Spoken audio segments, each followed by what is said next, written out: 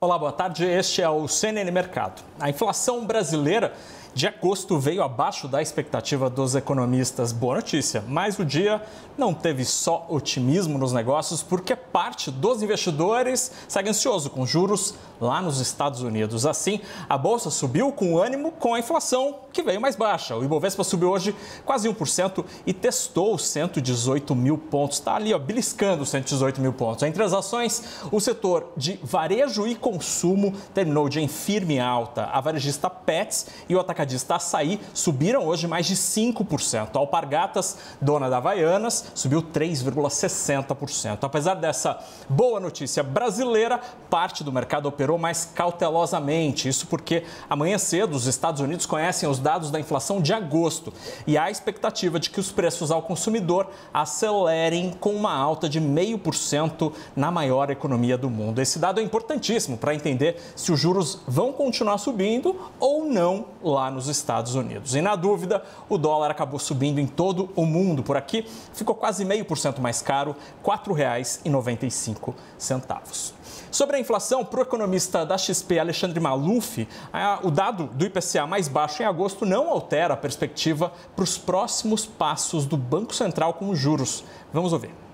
A comunicação dos diretores, a comunicação oficial, ela tem sido bem clara de que há um consenso ali no Copom para que a taxa Selic seja reduzida em 0,50 ponto percentual, é, pelo menos na próxima reunião, tá?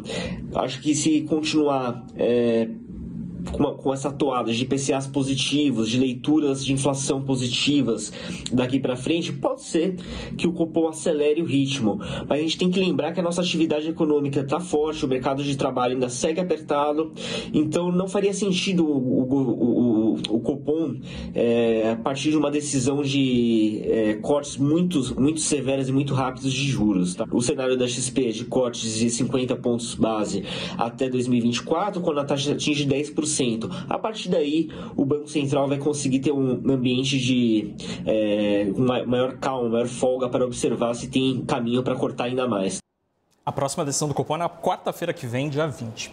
Uma pesquisa do Bank of America mostra que mais de 40% dos gestores de fundos que acompanham a América Latina prevêem que o Ibovespa deve terminar o ano que vem, 2024, entre 130 mil e 140 mil pontos. Os ouvidos pela pesquisa esperam ainda que a taxa Selic deve cair até um patamar entre 8,5% e 9,25% no fim do atual ciclo de afrouxamento monetário. Para esses gestores, a Bolsa Brasileira brasileira vai ganhar atração, especialmente quando a taxa Selic cair abaixo de 10% ao ano.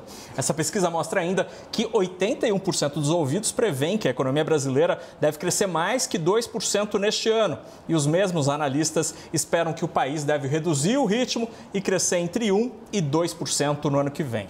O levantamento foi feito com 31 gestores que administram juntos 80 bilhões de dólares. Hoje, excepcionalmente, o CNN Mercado volta às 7h55 da noite. Agora é hora do Arena, com Leandro Magalhães. Boa tarde.